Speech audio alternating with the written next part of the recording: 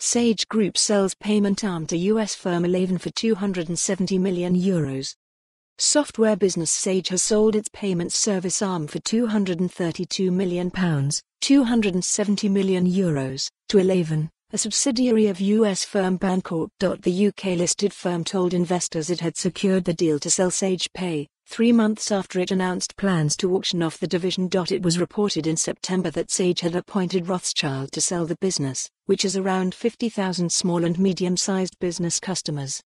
Sage Pay provides payment services to businesses in the UK and Ireland, and the divested business will continue to partner with Sage following the deal, it said. For the year to September 2018, Sage Pay reported revenues of £41 million, £47.8 million, Euros, and an operating profit of £15 million, €17.5 million. Euros.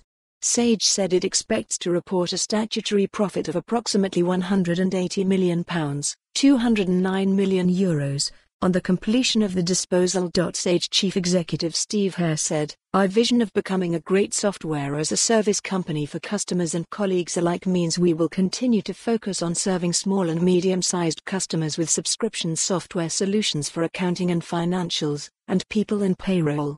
Payments and banking services remain an integral part of Sage's value proposition, and we will deliver them through a growing network of partnerships, including Elavon. The transaction is due to be completed in the second quarter of next year. Completion of the deal will be subject to Elavon securing regulatory approval in the US and from the Central Bank of Ireland. Investors in Sage are awaiting the company's full year results on Thursday, November 21. The results follow a warning from the business in July that its profit margin would be at the lower end of forecasts as legacy product sales fell faster than predicted. For more on this story, visit the news article link.